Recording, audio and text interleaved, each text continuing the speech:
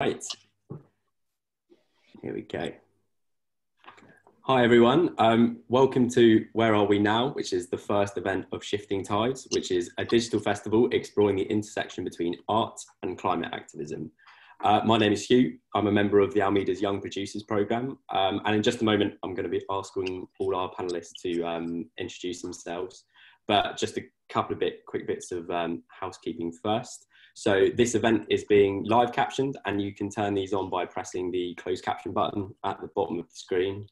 Um, today's event is a panel discussion, as you can see, which is going to be about an hour. And during the last sort of 20 minutes or so, I'll be opening it up to questions from the audience. So please do submit any questions you might have using the Q&A button. And if you could do that in sort of the first 40 minutes of the, um, of the panel, um, that'd be great, just so we can organise all the questions and have them ready. Um, so today our panelists are Daze Aghaji, Sharlene Gandhi, Noga Levy-Rapoport, and Louis VI. Um, so guys, if I could just ask each of you to introduce yourselves and um, sort of say who you are, what you do, and how you're involved in climate activism. So uh, Daze, if you could go first, that'd be amazing. Hi, um, I'm Daze. I'm a 20 year old climate activist. Um, I would say my work mostly revolves around campaigning and setting up protests. Um, currently, the UK's re- UK Ex- Extinction Rebellion Youth Regenerative Culture Coordinator, uh, all in mouthful. um, but I also do uh, work outside of that, working with NGOs about how they can start thinking about the environment in a very different way, um, and also um, working with Blagrave Trust, uh, which is a small uh, founding um, like funding foundation that is currently working on how we can radically fund youth. Um, so interesting to be from both sides, both the activist but also the funder. Um, so yeah, I think that mostly covers a lot of the work that I do. Um, but I'm so happy to be here amongst such amazing people. Amazing, thank you. Um, Sharlene, if you could go as well, thank you. Thank you, Hugh. Um, hi, everyone. Thank you so much for coming today. Uh, my name is Sharlene Gandhi, and I'm a freelance climate and business journalist. Um, and within that, I sort of focus largely on um, the business of food, um, agriculture, land, um, the role of race and class in climate activism, um, and also how we can better support small and micro businesses all over the world to, to better sort of become acquainted with the climate crisis and become ready um, for when when the climate crisis becomes a real problem. Um, and aside, aside, from that, I'm also um, a champion at the Pentland Centre for Sustainability and Business at Lancaster University. So again, working at that intersection between climate and the world of business. Brilliant, thanks so much. Um, Noga, if you want to go, thank you. Hi, I'm Noga. I'm an 18 year old climate activist and organiser of the UK climate strikes um, kind of working not just to organise the strikes here, but also to coordinate the new kind of Fridays Future movement on an international scale. Um, I also work in schools on developing a new system around which we can not only decolonise education, but introduce um, the climate crisis from kind of the early stages right until um, really the end of year 13 and then on into further education. Um, I also am a member of the advisory board at the National Lottery for the new Climate Action and Community Fund, um, which is really centered around ensuring that um, local groups can can not only challenge themselves to, to reshape kind of the sustainable initiatives that they're working on, but also um, encourage communities to kind of take steps that otherwise they wouldn't be able to afford um, in, in kind of redirecting what green spaces can look like and how uh, we can really respond to the climate crisis as as a community.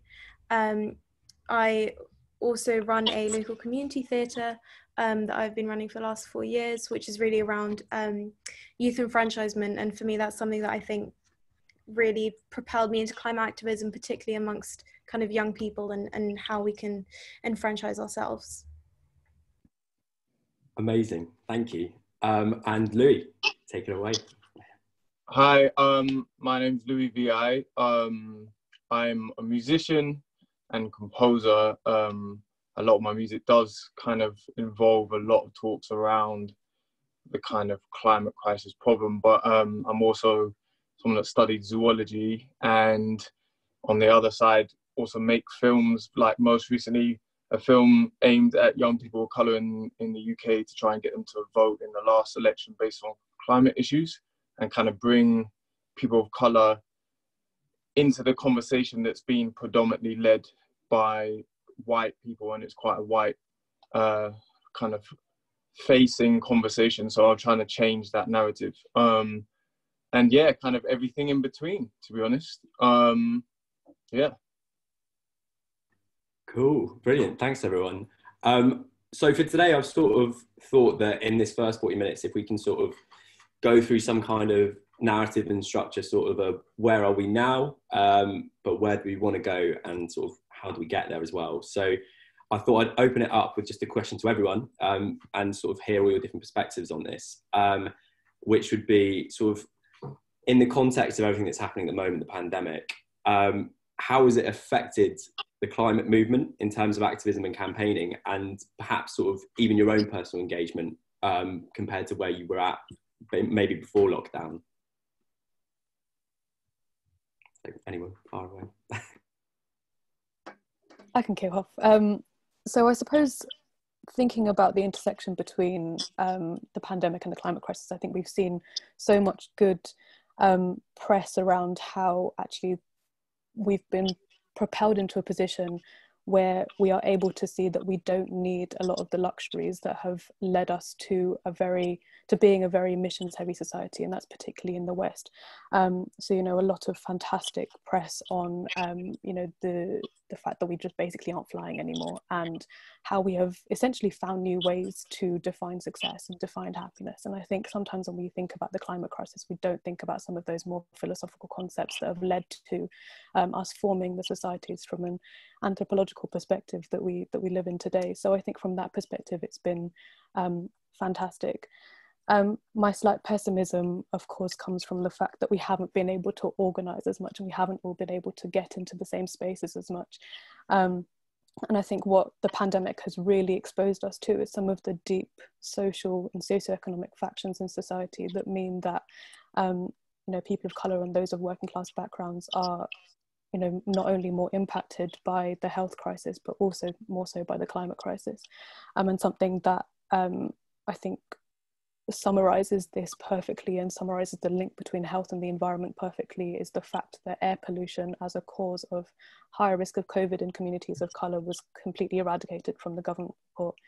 Um, and I think those of us in communities of color knew full well that living in these environments, living in these environments where um, you're more exposed to air pollution, you're more exposed to industrial waste, has inherently led to a large scale respiratory problem amongst communities of colour. So that I think has been a really interesting um, balance. And I think we've really seen that actually the environment and health aren't two crises that exist um, separately. They do, you know, they're, they're both sides of the same coin.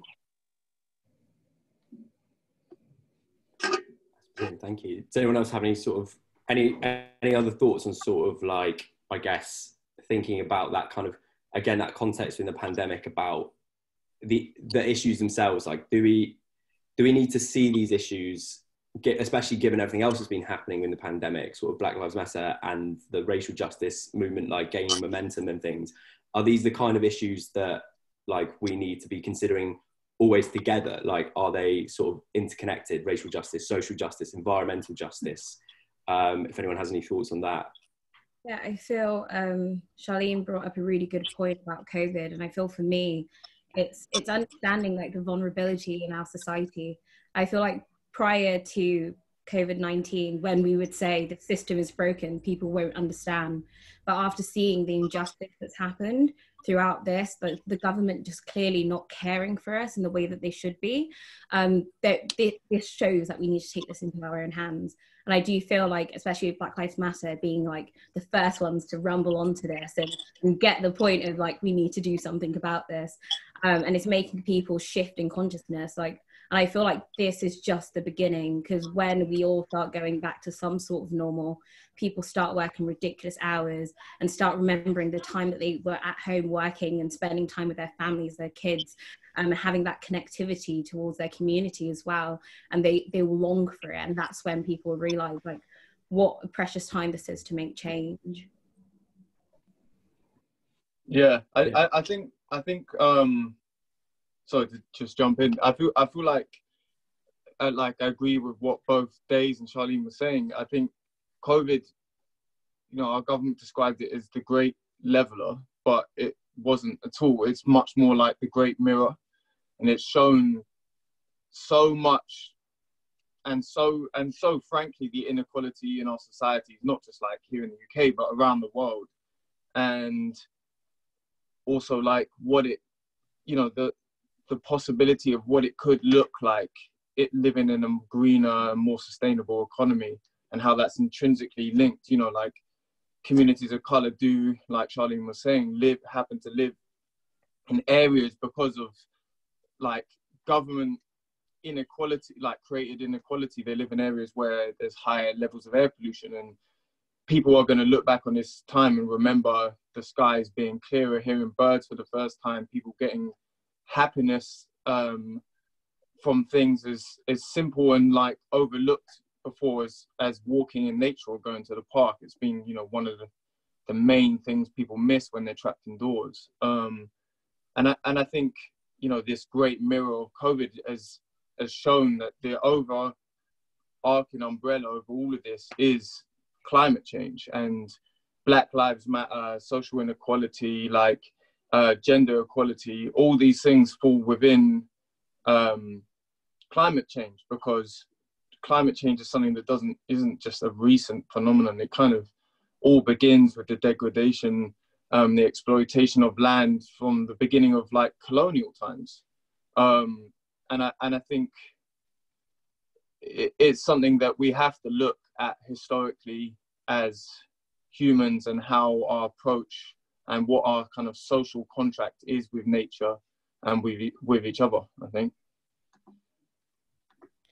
I think absolutely during COVID, like we've we've had this microcosm kind of moment of looking at the systems around us and saying we are totally unprepared. We we are totally exposed. We are easily battered. We are completely unprotected. Um, you know, and and there has been nothing really there has been nothing, I think, for me almost special about this pandemic in the sense that there was no leveling out of equality. There was no government support that was surprising or different in the sense that you know you go into any great crises and you know who's going to suffer. Those who are most vulnerable those who are most marginalized will suffer. And, and the climate crisis is built on exactly that. And for the last 40 years as kind of um, it started hitting around particularly the global south we, we we've seen exactly that happen. And we know that um, both globally and nationally we are we are not prepared to be hit by this this kind of catastrophe really. And I think for climate strikes in particular, it was an opportunity to redefine the ways in which we organize, particularly digitally, and redefine the way in which we can empower young people and communities and networks around us, but also talk about what a green recovery plan can actually look like and how we can come out of like the coronavirus crisis and say, okay, how do we, how, you know, how do we build back better in the sense that how do we totally redirect public investment? How do we look at the different groups and demographics that are most affected by the climate crisis and recognize the patterns that we see in other you know political disasters like the coronavirus and how do we ensure that um, we can massively reduce these kind of social and economic inequalities and target investment in communities where it's most needed how do we ensure that we can you know see a green economy emerge that can operate equitably? How can we actually you know protect and restore kind of the the habitats that are being threatened the carbon sinks that are threatened? And and look at the green spaces around us. Look in the cycle lanes that, that are opening up and say okay how do we make this the new normal? How do we make this permanent? It's really interesting that you, you sort of like you're touching a bit on sort of this is a very global issue. Like this is happening everywhere um, I know, for, example, Louis, like you're a second generation Dominican, like these issues happening across the world and often in more severe parts of the world, especially in the global south, things like that. I was just wondering, like, in terms of issues, especially issues which can be close to home for a lot of people, but not a lot of people necessarily in the UK, how do we get people to try and empathize and engage with issues that are happening on the other side of the planet that they might not be, they themselves being feeling the immediate effects of? I think education is really the first the first step. And I think a really good example of where this has happened over the course of the last couple of months is in the fast fashion space. And there's been some fantastic online activism showcasing the extent to which fast fashion corporations are exploiting those um, primarily in Bangladesh but other South Asian countries um, who work in garment production factories. And again, it's a crisis that's crisis that doesn't sit separate from the climate crisis. You know, the fast fashion industry as a whole contributes more to the climate crisis than aviation. I mean, does that not blow your mind that we feel this horrible need to just acquire, acquire, acquire at such a pace that we have completely forgotten where all of that comes from. And I think it comes back again to what, what all four of us have touched on, and this idea of connection and community. And we very often forget we are so far removed because we just exist as part of a supply chain, and we're sort of largely the end of that supply chain, especially those of us who sit in in Western countries.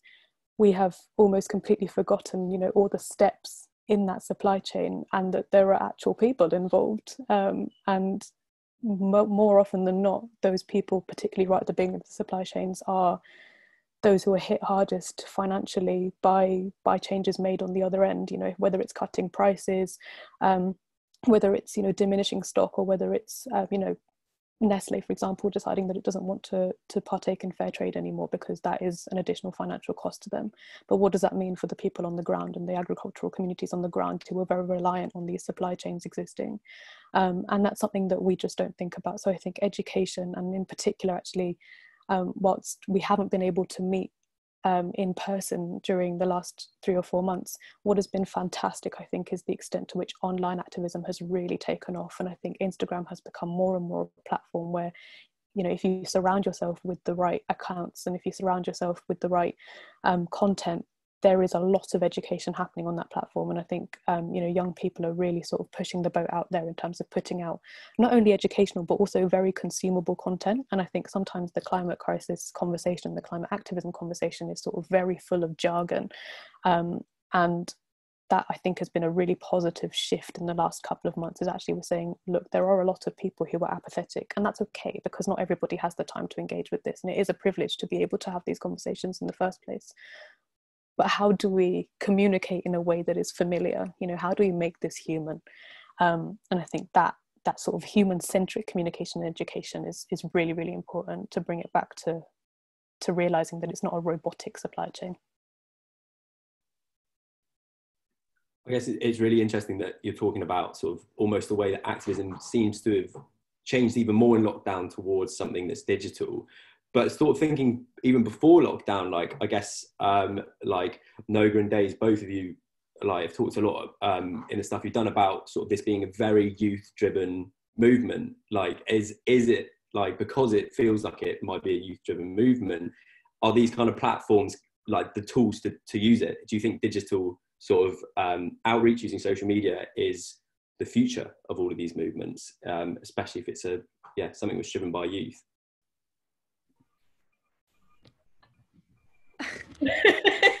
you go first. I definitely think that um, I think you know connectivity was was mentioned earlier, and I think that is the most important thing that social media has to offer. And that's you know how things can blow up that fast the immediate shares and the clicks. And within seconds you know you can you can reach people who would have likely never interacted or engaged with that kind of content before um, just because it's on a page they follow that might not regularly put out that kind of content. Um, and I think subconsciously, so much more is taken in than than we realize, and you can people are consuming so much more almost like activist like infographics and content than than they otherwise would and i think that was that was particularly clear during um the kind of the as as Black Lives Matter protests were sparking off, this was very very obvious. You know, you were able to kind of reach people about upcoming protests in a way that like just wasn't imaginable before. But even before lockdown, what was particularly striking for me about social media is is also that it is this like endless archive when you're looking to inspire people when you're looking to prove to people that taking to the streets works when you're looking to to say okay action is crucial. This is what has happened before. This is what can happen again.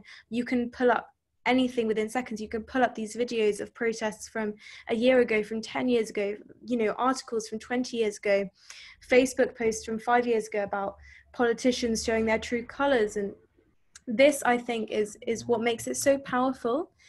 And and it is that it is that nature of it as this this massive massive archive of proof that what we are trying to do can and has to work of you know statements and and publications from particularly indigenous activists um, across the global south that don't have that many platforms that are able to just be massively massively amplified um, by creators across the global north and in the west in particular. And that is something that you can pull up at any point and that's something you can share. And i think without kind of living in the digital age we would particularly for fridays for future i think we wouldn't have grown as in with the kind of exponential speed that we did. We wouldn't have reached from you know one teenager to hundreds to millions within you know the space of, of a year and a half. It just wouldn't have happened. Um, and for young people in particular are the energy that we have is translated so easily into you know into digital spaces because it's what we've grown up with it's what we understand it's a whole other language that we all speak fluently. And i think because of that we're able to to connect and to pull each other forward and to push each other forward really and progress in that way. Yeah i definitely agree with you. I think um especially like for me when it comes to social media it's more of this like weird interconnectedness where like there's so many of my activist friends I've never met in real life, but I knew them through Zoom, I know them through Instagram, and you create these bubbles of understanding in these communities. And I think that's like really important, especially when it comes to young people having the space to express all of the emotions that are related to climate, express that grief, express that, you know, that want for life, express that um like the creativity that we have. And it, it's been really amazing to watch people create things um, and and like create new ways to connect to nature because I think that's another thing like when um, uh, Sharlene was talking it, it, like it really resonated with me that a lot of the time we don't have ways to actually spot the climate crisis. Like I grew up in Lincolnshire and I thought flooding just happened every year. I was like you know it was totally it was just like oh this is just it just happens right? Um, I didn't even realize it was connected to this greater thing and it was only when I came to London where like um, air pollution personally affected me where I became really, really ill and I wondered what was going on. The doctors said, oh, it's just probably hormones that you just can't breathe, maybe puberty, not realizing that I was living next to an incinerator that was burning 24 hours in areas that are mostly predominant ethnic minorities.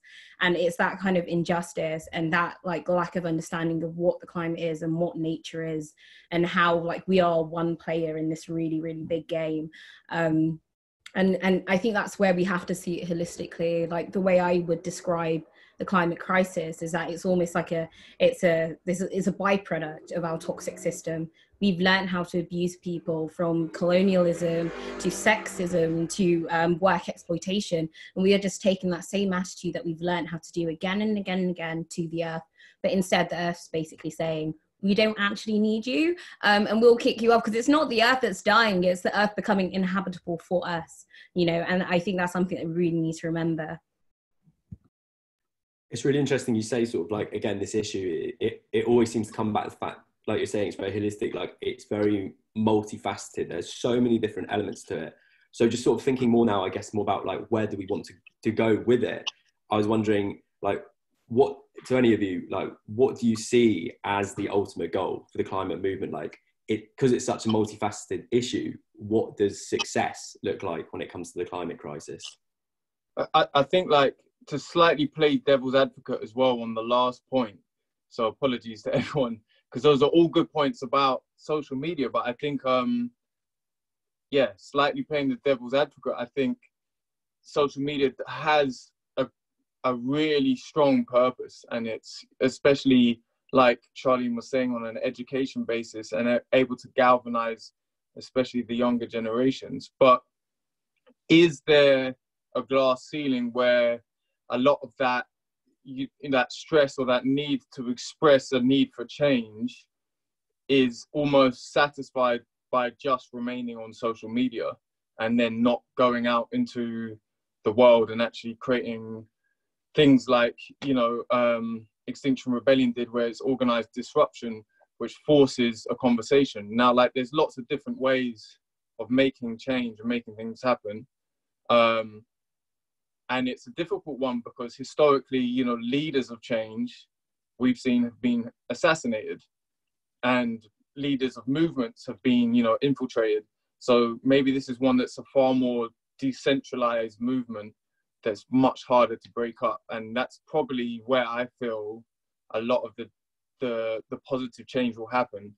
Um, and a lot of the stuff we see our governments doing is like a reaction and as a, a symptom, as a reaction to being able to un like to prevent or stop or like de-seat a far more like decentralized revolution. But I think we really need to look at what we want the end goal to look like. So like so responding more directly to your question, if we want the end goal to be to live um, as humans that are far more like stewards of our environment of the of the natural world where you know technology has enabled us to be sustainable we have net zero which is what which is also you know and i think a lot of the jargon around sharlene again was saying this a lot of the jargon around climate change issues is problematic because a lot of people don't even know what net zero means including governments so it's like okay, mate, what is our actual aim? Are we, you know, this net zero idea, or are we trying to become societies that consume less as well as like have those technologies that mean we produce energy in a sustainable fashion? For me, I think the future looks like something that goes quite a lot along with the Green New Deal, UK and in the US. Um, and I think it's a combination of moving a, a little bit away from individualism. It's a it's a, a philosophical change as well as like a societal change, where people start to realize, you know, there's a collective responsibility. So things that you do do affect other people. And right now, especially in the West, it's a far more individual individualistic.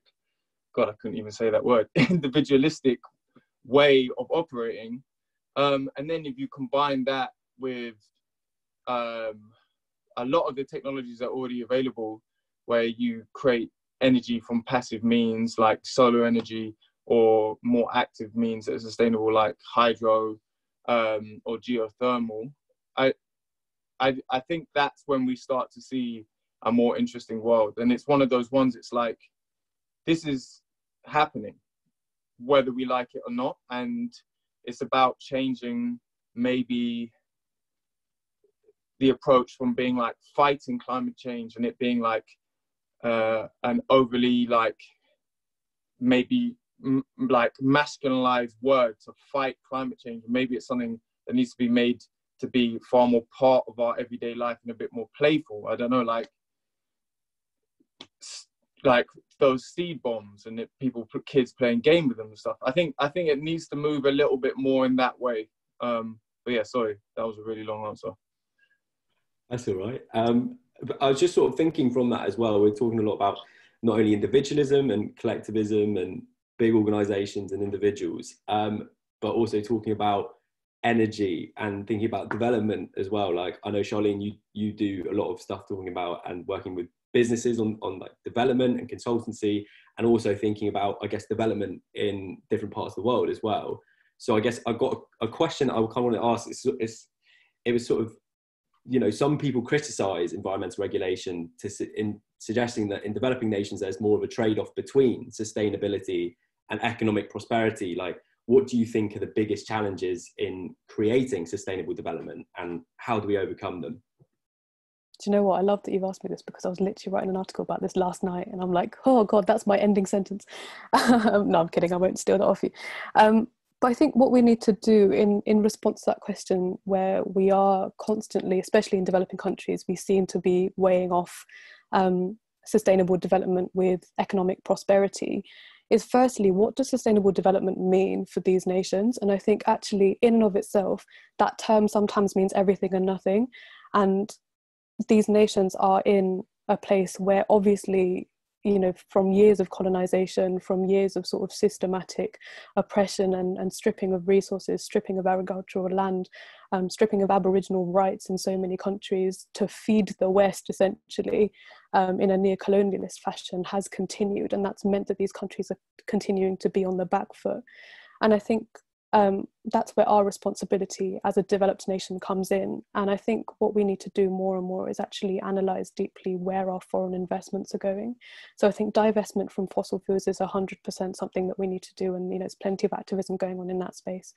I think the next step to that is really looking, you know, where, where is the UK investing in, you know, in, in international countries and why is it investing there? Um, a really good example of this is um, in Australia at the minute. Um, they are shipping coal over to India um, for the coal to then be processed there and then the power from that coal is then used in Bangladesh. So the folks in Bangladesh are essentially picking up the, the money that, that the Australians and the Indians are making from processing and mining that coal. And obviously, needless to say, in that situation, the folks in the Bangladeshi community are the least well off. And you know, if we continue to propel this myth that actually um, not investing in in renewable um, energy sources in these countries is going to mean that they aren't able to uh, economically prosper as quickly cool okay they might be able to prosper for like five ten countries but what happens after that when we run out of fossil fuels? So if we start that conversation now and if we as western economies are able to take that responsibility and really analyze you know where are these investments going um, i think that that is a really in, important thing that is often you know shrouded because it's just something that's so foreign to us um, and we don't necessarily analyze those international relations very much. Um, but you know australia is not the only example you know a lot of um, developed countries that have historically had interests in fossil fuels are still continuing to exercise those interests just in novel ways you know in neo-colonialist sorry neo-colonialist ways where they are able to continue to gain financially from building power plants you know in in in less developed areas. So um, i think that is something that we we really need to continue to do on a business front. And just to add to that as well um, we we need to hold big business accountable. We really do because i think a lot of the time the responsibility gets pushed onto us as consumers. And i think a really interesting dialogue there is for example when primark opened up and there was a lot of sort of demonization of folks going and shopping in primark.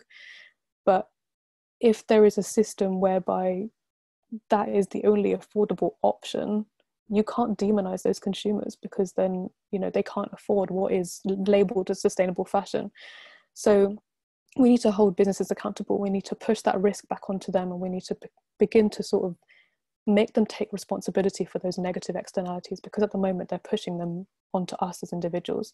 And the other thing I'll add to that, sorry, last point, is that organizations are made of people. Organizations are not like these big monster robots. And I think sometimes there's like this dichotomy between the two where it's like, oh, we the consumers exist here and we the, the organizations exist here you know we work we buy from things we buy from places um, we interact with brands so organizations are people so the change does start from people but it's seeing yourself as part of a system i think that is really important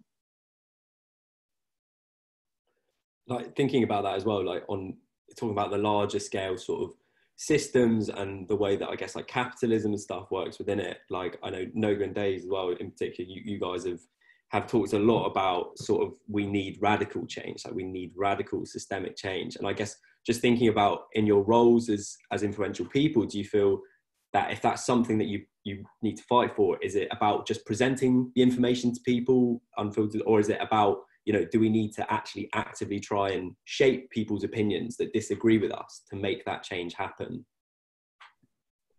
Yeah, it, for me, because I, I come at this a very different different angle i think for me i think the work has to start with the person and not in like an individual individualistic manner but is in like a way to one realize like what role do you play within this society and remembering like i like how especially in activist circles it's like oh the system there society's there I'm just kind of like out of it. And it's like, no, you're not. You're still here. You're present. You interact with these power dynamics every single day.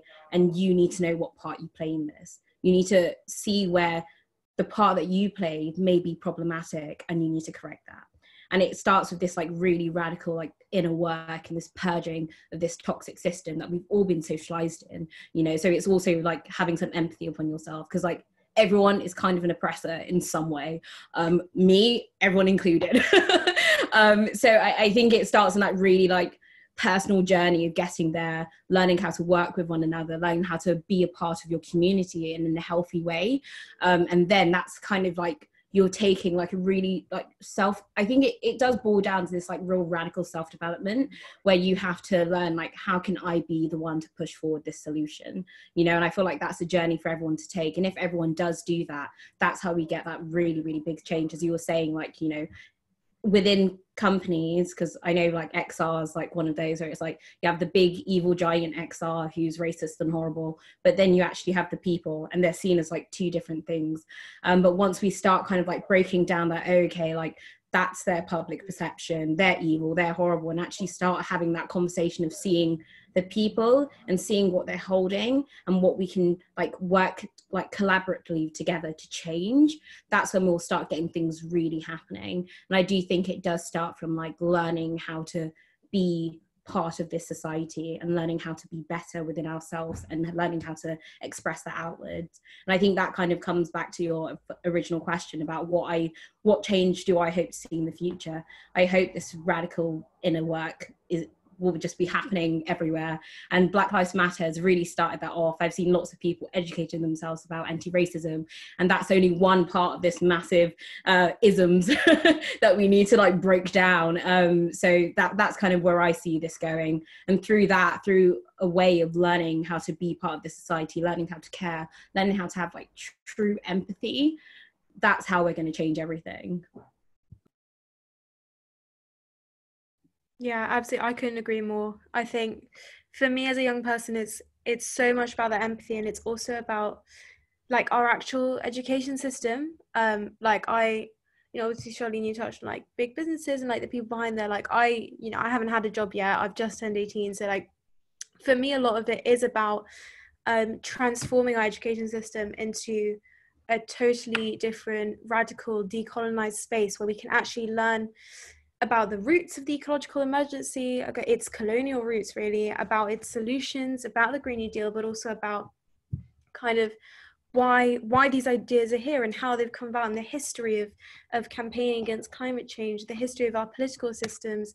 Because I think for me, I, the enfranchisement of young people can't come without this this reform to our educational system. There really is only so much that digital spaces can do, and it, it has to start from such a young age. We have to you know break free of what is ultimately a very restrictive national curriculum and that I think for, for forces us to to concentrate on this very limited range of subjects rather than actually allowing us to develop our understanding of the world around us, to develop our understanding of connectivity and of um, globalism and of, of international networks. And I think we we are massive. It, our, our right as students to view the educational framework as a place of opportunity and development and understanding is massively encroached on by kind of the, the way it's currently structured. And I think uh, a result of that, possibly, you know, intentional over time, has been that we aren't encouraged to step out into the streets. We aren't encouraged to self organize. We really aren't encouraged to look at kind of the injustices of the world around us. And we can only really do so when we're taught in full about not just the climate crisis, but how to respond to political disasters, how to enfranchise ourselves and the people around us, how to work for rather than against our future, and you know, grasp these kind of crises in depth. And I think that has to. It's it's quite hard because before the last election, I, I probably would have come at this with a more optimistic outlook. But obviously, at least for the next five years, there's there's a fairly limited amount that we can expect kind of from the top down. So this has to come from, and I think most campaigners would say that this is the best way regardless, but it has to come from local communities. It has to come from the grassroots that we have to organize this bottom up and not only implement no- local initiatives, but ensure that that collectively students and teachers receive this kind of adequate funding, economic support to engage each other with new ways of thinking and organize, to be able to reorganize um, the way we're taught about the impacts of climate change, about its roots, and the action we can take. You know, I think for me in particular, like young people are the home of grassroots activism.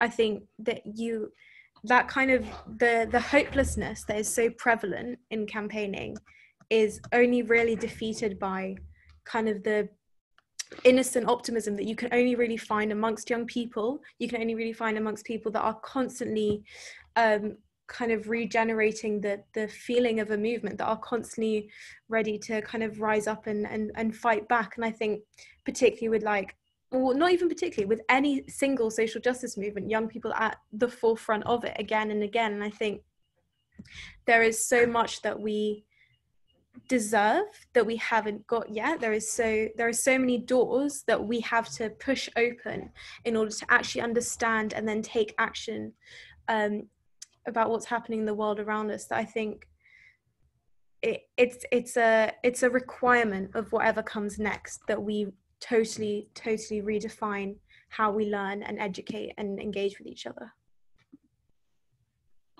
amazing um just thinking as well sorry as just to quickly mention well, we're going to be taking questions in or doing the questions in just a couple of minutes from from our audience. So if anyone has any questions in a couple of minutes, we're going to start going through all of them.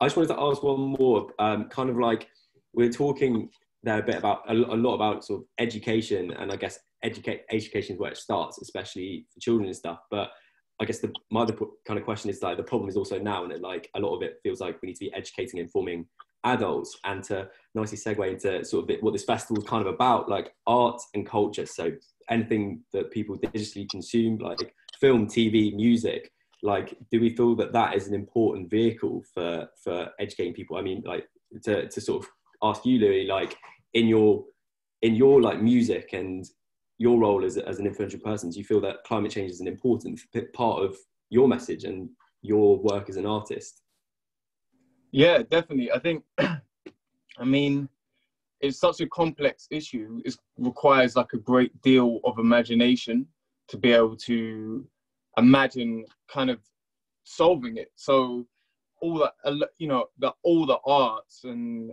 those ways of communicating are all about imagining something that doesn't yet exist around you, kind of thinking about the possibilities. And I think drawing from that is is is really important. And and I think you know you're completely right because time is definitely not our friend at the moment.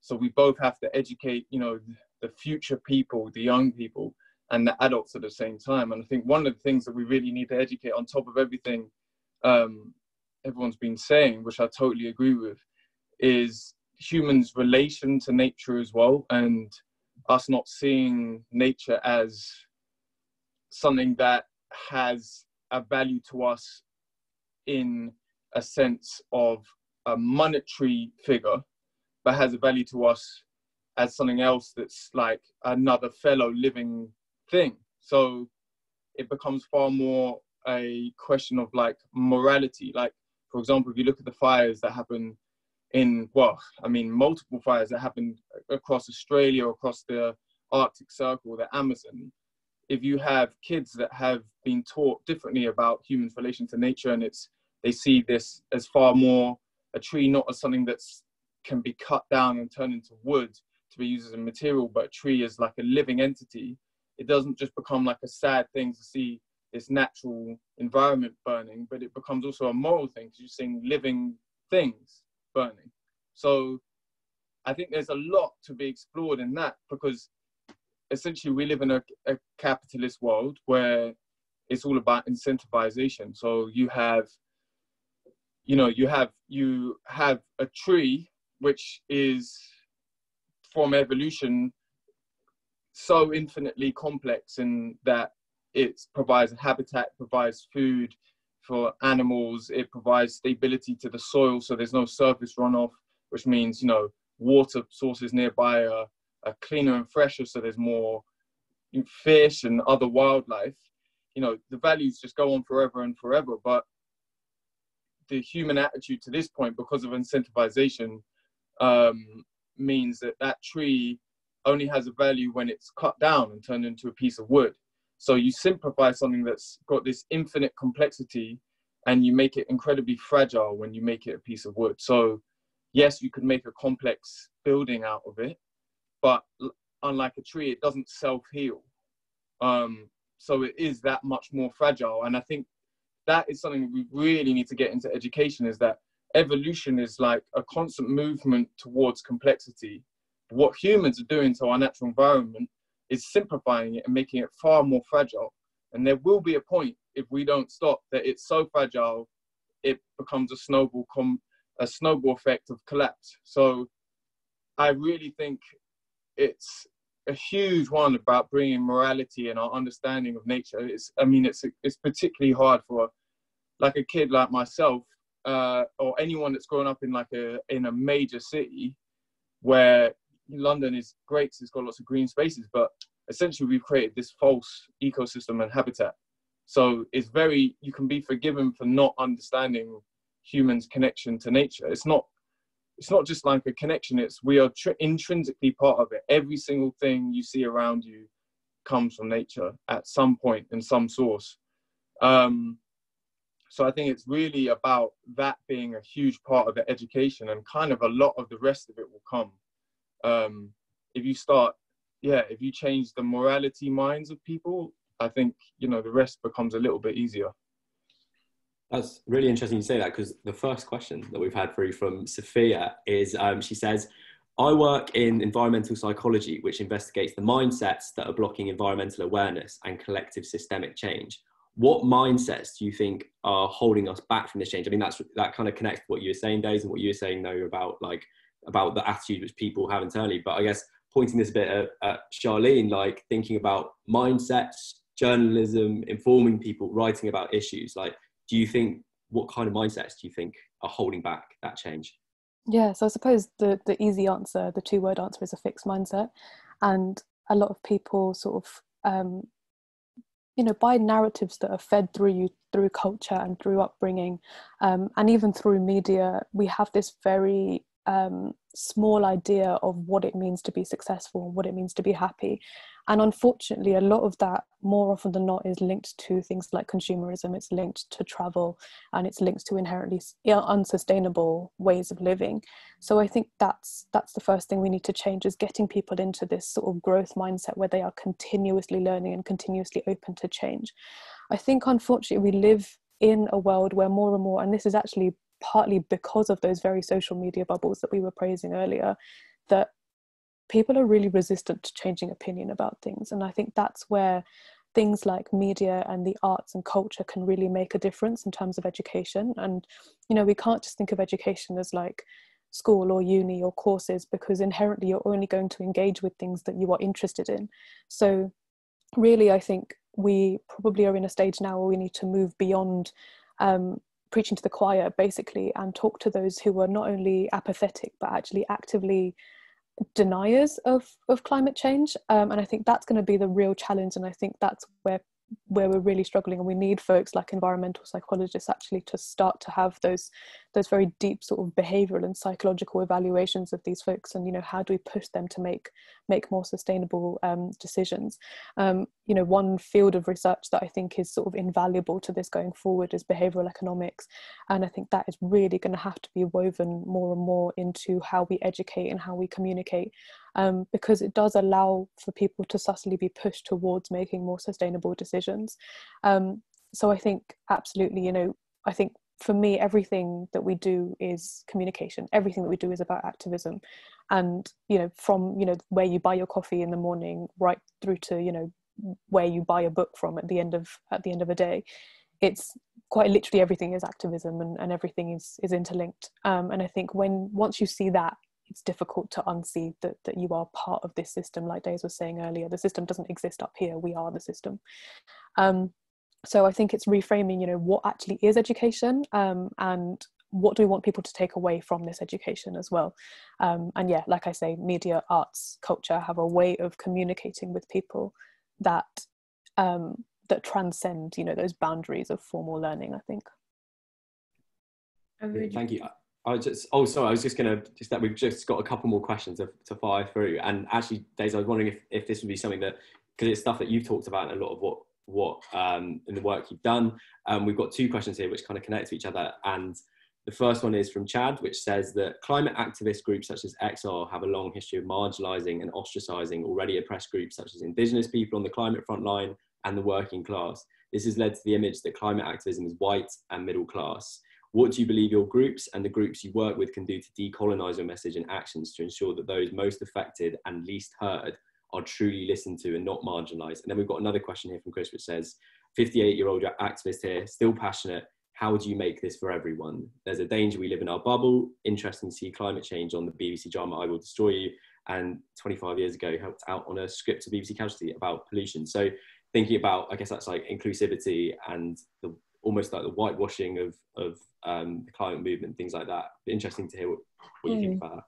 Yeah, I would just say um, just on that point of what education is, I think that's that's where it comes from as well. I think that's still relevant to these questions. It's it's re like changing the way that we see education, understanding that we need to constantly be learning. And this kind of goes into the first point that Jad brought up. Um, I like you say long history because XR has actually been only operating for two years.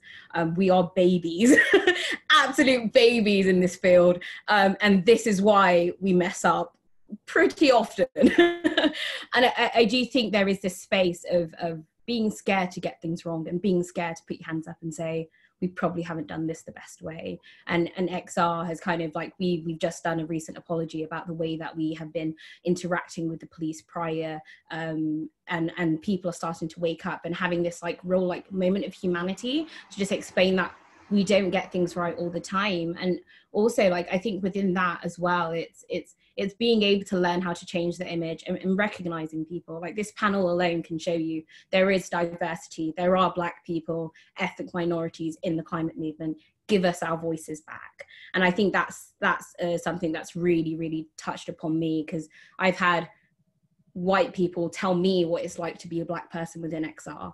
Um, and that's, yeah, I know, right? uh, which, is, which is really annoying. Um, and it happens really often. And, and that is you oppressing me and oppressing my voice and my understanding of, of what it is like to be a black person XR.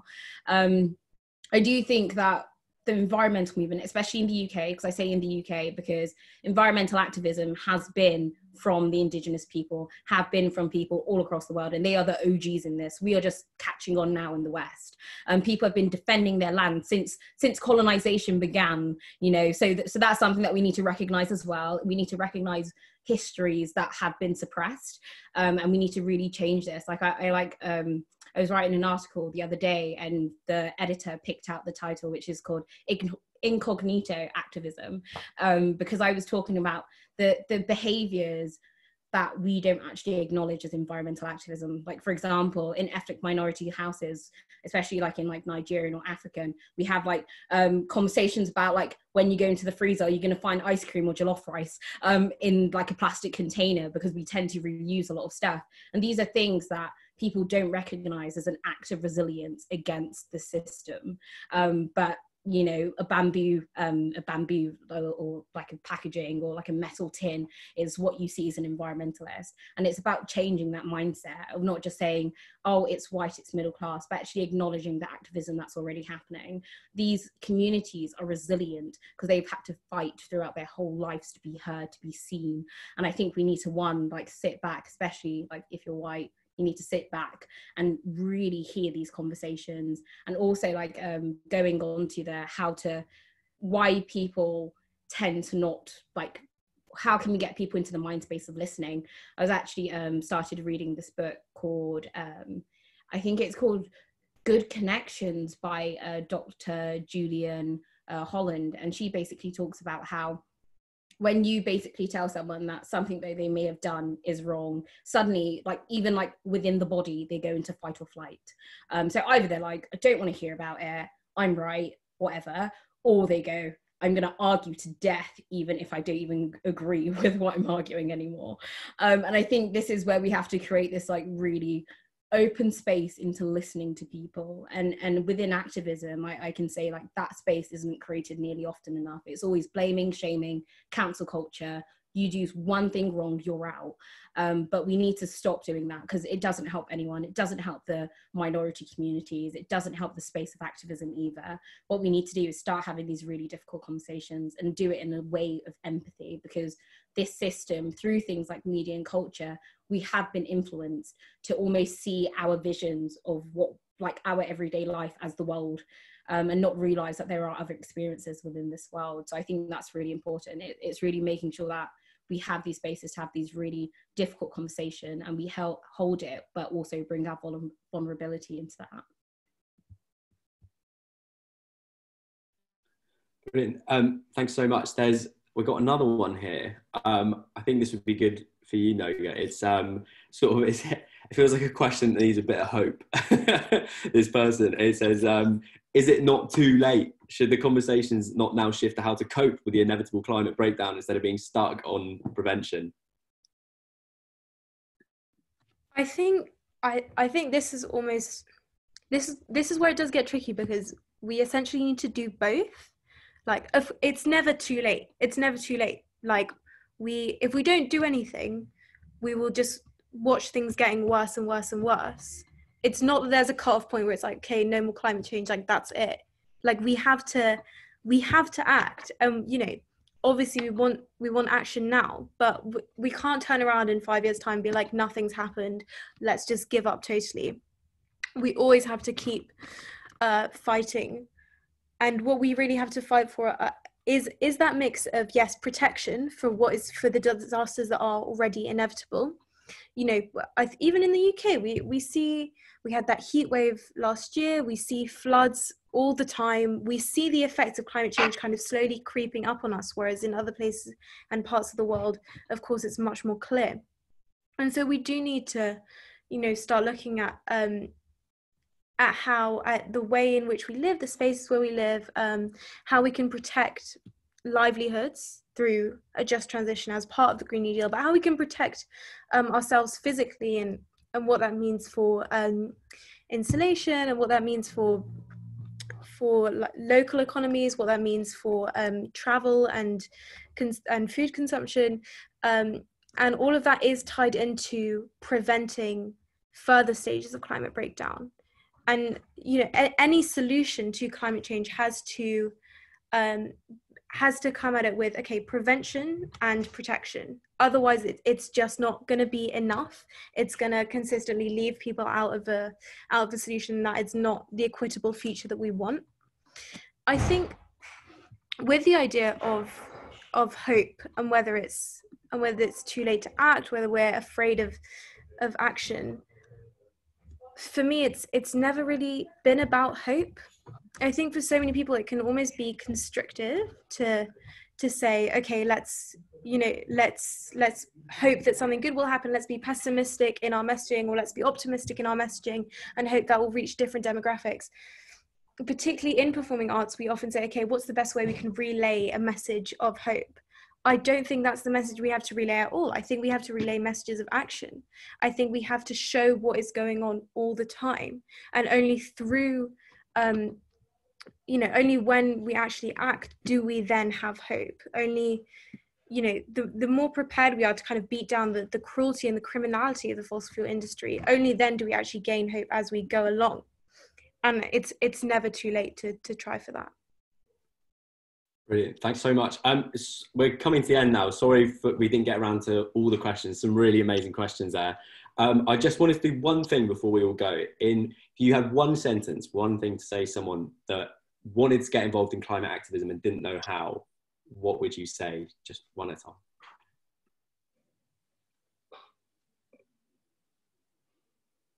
Whoever wants to go. I know, sorry, you got to think about it a but. I would say just just do it. Like I, I think uh, as I talked before, there's this fear of getting things wrong, fear of being a hypocrite. But at this time, it's like we actually just need to understand all of us are hypocrites. We're probably going to get a lot wrong, but we just need to get get things done. And and as Noga said we we need to act. And I do think it needs to come from this like really balanced proof like in XR we call it love and rage. It's the love of life and the life we're trying to save but also the rage and anger and disappointment in our systems and that like fire in us to make things happen. And we need to really act from both places. Yeah, I, I, I think it's, you know, this time shows the like the age old thing that out of a crisis comes opportunity for change. So I think we're living in like a world that's already changing and it's about kind of jumping on that energy and having conversations with people. Like I've been having great conversations with Chris Hines, who did Surfers Against Sewage. It's about speaking to people that are on side and people that are also not on side. And if you're just getting into it, start speaking to your friends about it. Start speaking about, you know, the roles you play, you know, how much meat do you consume? Do you consume like fast fashion? All, all these things that play a role. And then like one of the best things to do is start imagining what the future might look like. Like the Green New Deal thing is is a beautiful thing because it is actually bringing loads of new jobs and new energy systems and a whole new way of living that might not just be good for the environment but good for our mental health and good for the health of everything in society. So you know there is an aspect to it that can be really fun, and I would start with conversations. I think mine is sort of similar to that, and I think I would just say mentoring is really, really powerful in this situation. I think nobody that I've met who is actively involved in in the climate crisis, um, you know, whether that's other journalists or activists or artists or anyone, nobody comes at this half-ass. Like you could ask any of the four people here or you know anybody you know who's interested and they would talk at you about it for hours. It is just it's a mind-boggling subject in and of itself but we just love talking about it and love communicating about it. So i think if you are in a position where you want to learn more i think don't be afraid to reach out to somebody who you look up to who is doing work in that space already and and ask them for guidance. Please don't be afraid to do that. I think yeah i mean for me the mo- the two most important things are really um sorry for me the, the two most important things are for for young people my age you have to I think in Daze touched on this, you have to fall in love with the world around you. You have to fall in love with the people around you if you want to gain that kind of powerful empathy. You have to um, you have to recognize the value and dignity that every single person is worth and deserving of. And in recognizing yourself and everyone else as an equal, worthy of that love and of that dignity, you then reach a stage where you realize that you don't have to ask for permission or defer to anyone else in order to make the change that you want to see.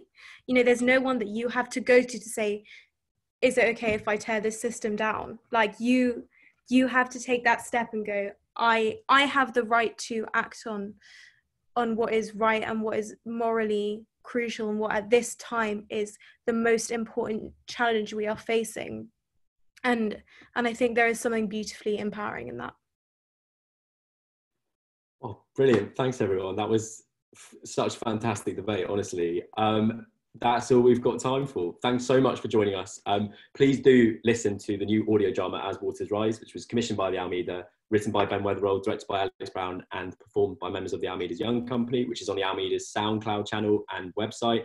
Um, you can also join us for our next event, which is Art Matters, which is a showcasing discussion of visual art created by young activists in response to the climate crisis, and that's at 4 p.m. today. So that's about half an hour. Um, and there's also more resources, recommendations, artworks, films, all available on the Shifting Tides area of the Almeida website. So please do give it a look. Thanks so much.